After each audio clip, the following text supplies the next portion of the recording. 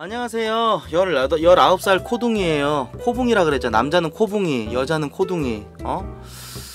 안녕 형 누나들. 난 올해 99년생 토끼띠야. 나랑 띠동갑이네. 이런 개새끼. 부산 살고 있는데 지금 막 첫 입시를 준비해야 될 19살이 왜 삼수생이냐고? 사실 난 음악을 하려고 중학교 때 처음 결심하고 고등학교를 진학하지 않았어. 중3까지만 학교를 다니고 음악 공부에 더 몰두하고 싶었어. 검정고시로 고졸 자격증을 바로 따고 17살이 되던 해에 바로 수능을 봤지. 어느 정도 예상은 했지만 당연히 결과는 좋지 않았어. 18살이 되던 해 제대로 수능 공부도 하고 입시 준비도 했어. 사실 실용음악과는 실기 위주거든. 그 결과 서울에 있는 예대에 붙긴 했는데 더 높은 학교를 목표로 1년을 더 공부하기로 마음먹었어. 올해 또 입시 준비를 준, 입시를 준비하고 있어. 왜 삼수생인지 이제 알겠지? 야, 네 노래 하나 올려봐라. 이 새끼 노래 한 거 있어? 이 자식 이거 이 새끼. 이 새끼가 이게 이게 노래도 안 올리고 이 새끼가. 내가 방송에서 어? 저 이거 산 거 이거나 이- 사고 말이야 이 새끼가. 정신 나갔나 이 새끼가. 어 야 노래 하나 올려봐. 노래 한번 들어보자. 어? 3년을 노래 공부했대잖아 진짜 배운 놈의 그걸 한번 보여줘라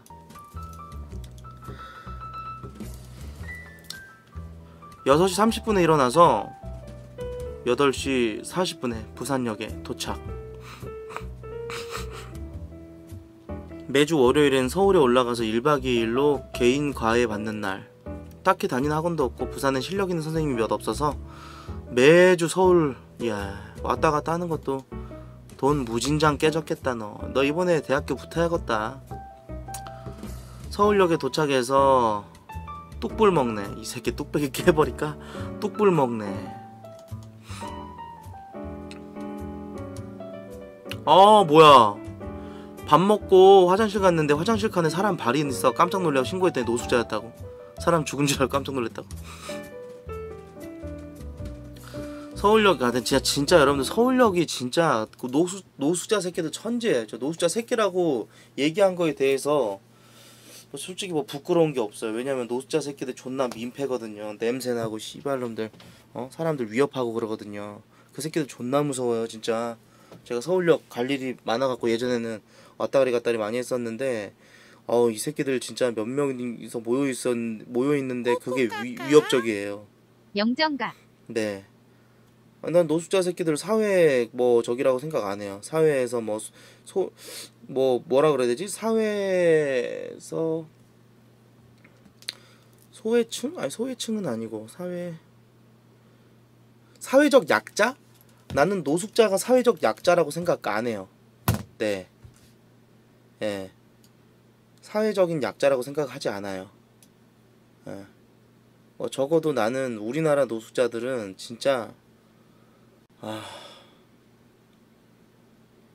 아니요 아니요. 뭐 신고하려면 신고하세요. 내가 이걸로 이 노숙자 뭐 비하 발언했다고 그거 갖다가 뭐 방송 못하게 될 일이 있으면은 저는 절대 인정하지 않고요.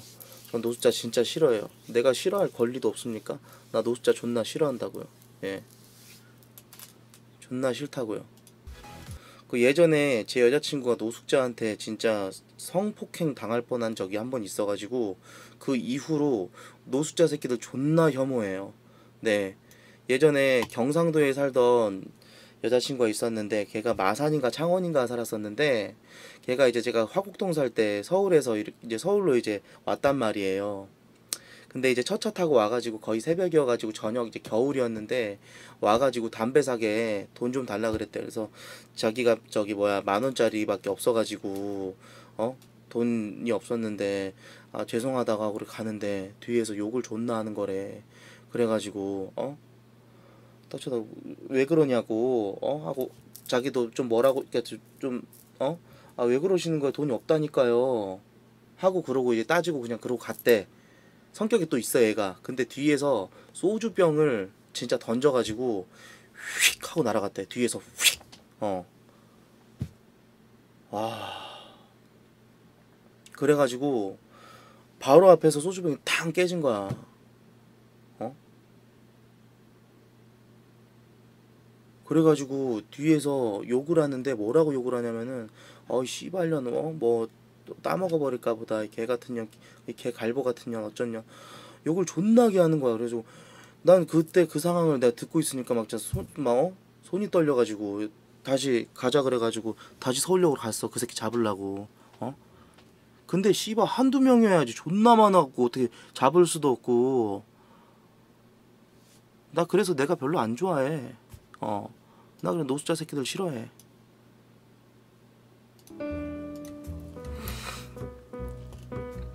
서울역에서 40분 정도 지하철과 보도를 도보를 이동해서 레슨 받는 작업실까지 이동한다고 합니다. 수업실이 여기가 이제 그 레슨 받는 곳인데 개인 레슨 하는 사람한테 배우나 보다.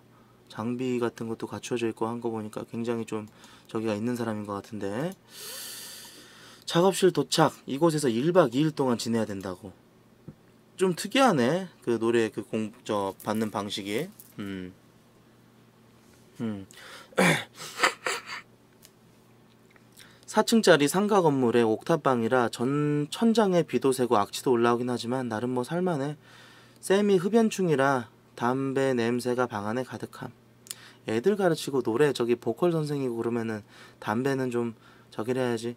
아무리 기호식품이라지만은 좀 선생이 담배 피우고 그런 모습 은 좀 그럴 것 같아. 특히 이제 노래나 이런 쪽은 성악 쪽은 뭐 당연히 저길 하는데 그래요. 근데 담배랑 노래랑 뭐 직접적인 관계는 없지만 그래도 예. 선생님이 오실 동안 숙제 점검하고 피아노 점, 연습하고 선생님이 오시고 바로 수업 시작. 예. 근데 이 친구 저기가 아닌 것 같은데 보컬이 아닌 것 같아. 작곡하는 애 같아. 그제? 피아노가 저렇게 있고 한 적이 한 내가 예전에 배꼽 경 배꼽 경매래 배꼽 보여줬던 날 몸매 보고 한 발 뺐다고. 어우야.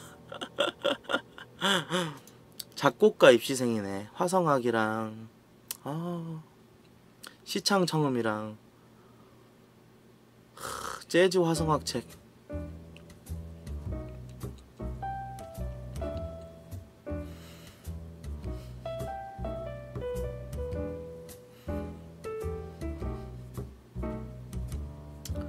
보컬도 시창청음이랑 화성학을 들어야 돼요 무조건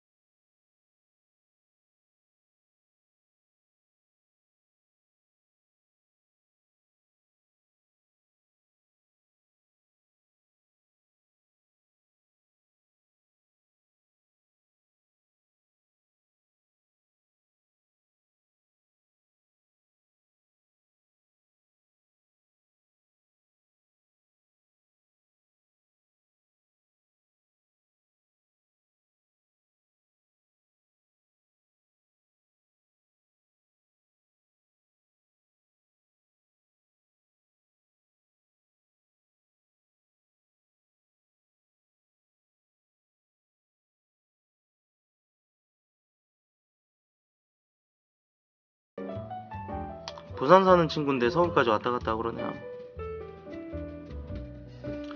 해운대 걷다 보면은 버스킹 하는 사람들이 몇몇 있는데 버스킹을 들으면 서울에서 이틀 동안 레슨을 되돌아보며 반성해야 될 것들 더 열심히 연습해야 될 것들 부족한 것들 생각하며 하루 남은 한 주를 어떻게 보낼지 머릿속으로 정리를 한다고 합니다. 그래요. 나중에 꼭 훌륭한 작곡 가가 되길 바란다. 그 나중에 나 정모하면은 네가 저기 피아노 하나 저기 놓을 테니까 네가 좀 저 반주 좀 해줘. 어 듀공추. 나중에 반주 좀 한번 해줘라. 정 정모 때 한번 나와라 너는. 어 특별히 미성년자지만 재능충이기 때문에 어 재능 있는 친구들은 좀 내가 써야겠다. 아. 피아노 반주에다 또 노래 부르면 또 그게 또 다르거든요. 네. 그렇습니다. 잘 봤어요.